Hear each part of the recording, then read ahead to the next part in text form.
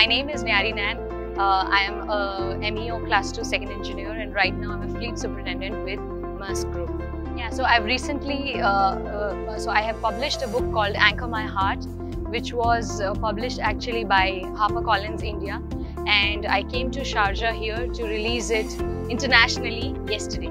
Yeah, so the crux of the book is about a female uh, uh, marine engineer. Her name is the lead protagonist is a fourth engineer. Her name is Leher Saxena, and uh, so it's all about her life dwindling between spanners, a long distance relationship, and how the onboard journey grows dangerous uh, as it advances.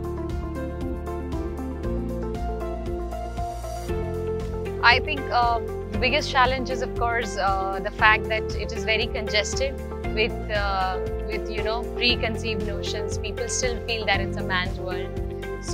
So, finding that way out of the congestion, that's, that's one of the biggest challenges.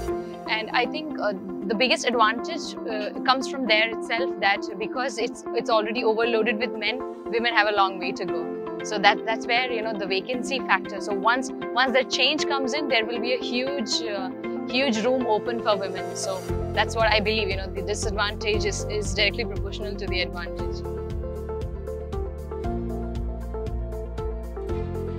Yeah, so coming here for this event, uh, I think it was very close to my heart and overwhelming because uh, I, I, I, believe that this topic, uh, diversity and inclusion and the people people are sitting here somewhere, they all, uh, they all are in the same, same shoe so it kind of gives me gives me hope that there are these many people who have all come down to listen to me, uh, what my journey is all about. Gives me that uh, that motivation and inspiration that uh, that uh, there is there is a long long way for the change to. I mean the, the change is about to come.